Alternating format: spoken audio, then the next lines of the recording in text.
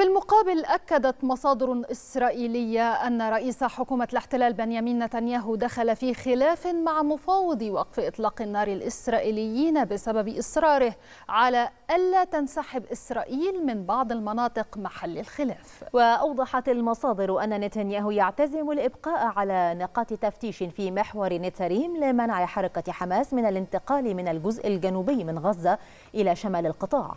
مشيرا إلى أن أعضاء الفريق التفاوضي الإسرائيلي يضغطون على رئيس حكومة الاحتلال لتقديم المزيد من التنازلات لإنجاز الصفقة.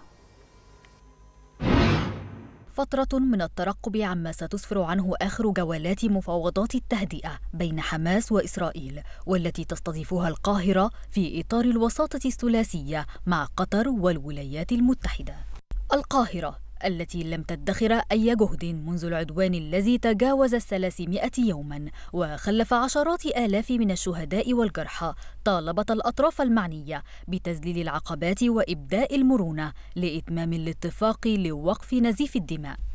الرئيس السيسي أكد لناظريه الأمريكي جو بايدن في اتصال هاتفي أن التوصل لاتفاق فوري لوقف إطلاق النار يكتسب أهمية فائقة في هذا التوقيت الدقيق سواء لضرورة وضع حد للمعاناة الإنسانية الكارثية بالقطاع أو لإنهاء حالة التصعيد وتجنيب المنطقة ويلات توسع نطاق الصراع بما لذلك من تداعيات خطيرة على شعوب الإقليم كافة. وبرغم إعلان بايدن عن وجود تقدم في المفاوضات إلى أن عوائق واضحة تعرقل مسار المفاوضات منها عدم إقرار إسرائيل بشكل واضح بسحب قواتها من غزة وتمسك الولايات المتحدة بهذا الشرط.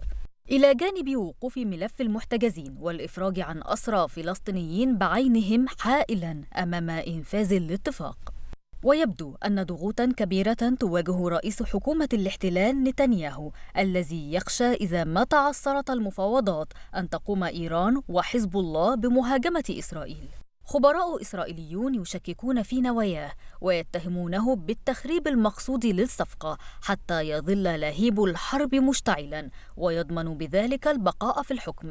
هذا وما زالت المفاوضات جارية تتعلق بها آمال شعب أعزل في مواجهة قوى غاشمة وأمهات ثكالى صارت أبسط أمانهم الاحتفاظ بما تبقى من أبنائهم وذويهم على قيد الحياة.